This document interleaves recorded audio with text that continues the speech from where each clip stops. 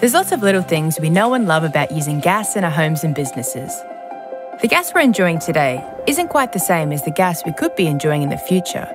And those that look at the big picture know that gas isn't just helping the energy transition, it's in transition itself. Renewable gases like biomethane and renewable hydrogen are being demonstrated and developed around the country and already being used successfully overseas.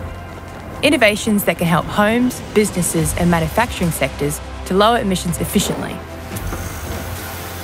Even changing the way Australians think about energy storage, power generation, and transport.